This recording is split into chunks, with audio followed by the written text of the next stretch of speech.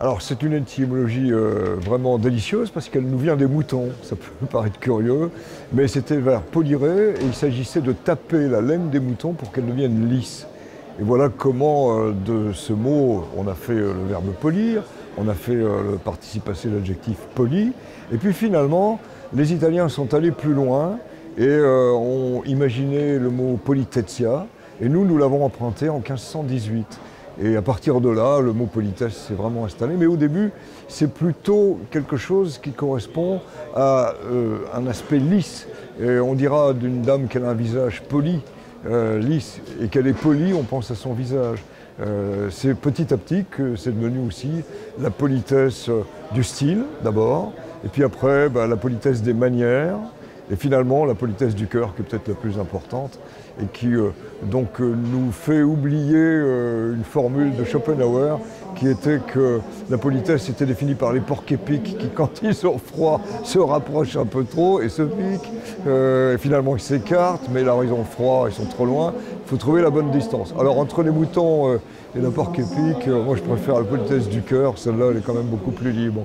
Alors, c'est vraiment au XVIIe siècle hein, la fin du XVIIe, notamment avec la cour de Louis XIV, ça avait commencé avec François Ier et Louis XIII, mais à la cour de Louis XIV, il va y avoir vraiment des règles de politesse, une étiquette, et euh, tout cela va petit à petit aboutir à des codes de plus en plus raffinés. Et en même temps, tous les écrivains se sont intéressés à cette idée de politesse, même parfois avec euh, de l'humour. Hein.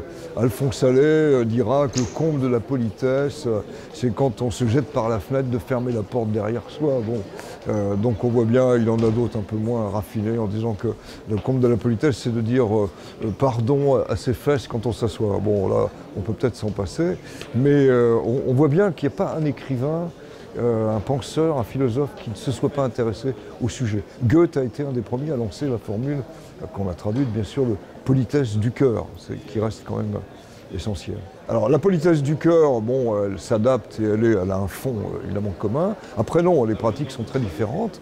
Hein. on sait par exemple que quand on est en Russie, au musée ou au guichet, on ne vous sourira pas, on ne vous dira rien. Mais quand vous êtes chez quelqu'un qui vous invite en Russie, il sera très très poli. Bon, en France, on sait qu'on euh, va être très courtois en entrant dans un magasin, dire bonjour, au revoir, euh, avoir même des formules, je désirerais, euh, etc.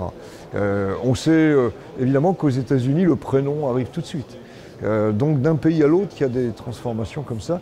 Mais il y a aussi quelque chose qu'on oublie et que j'ai traité dans cet ouvrage, c'est ce qui est inconscient. Par exemple, le temps pendant lequel je regarde quelqu'un quand je vends quelque chose. Si je suis au Japon, c'est 10%. Si je suis euh, au Brésil, c'est 60%. Le temps d'interparole, quand j'arrête de parler, quelqu'un va reprendre la parole, eh c'est deux fois plus longtemps entre un Français et un Américain. Et entre un Américain et un Inuit, alors c'est infiniment plus long, au point que les Inuits disent les Américains ne vous laissent pas parler, mais c'est faux, c'est ce temps d'interparole. Donc il y a comme ça des notions de distance aussi. Il est évident qu'il y a une politesse qui passe par la distance que je mets entre euh, l'autre personne avec qui je converse. Et on voit bien que plus on est dans le sud, plus on est proche, on se touche même.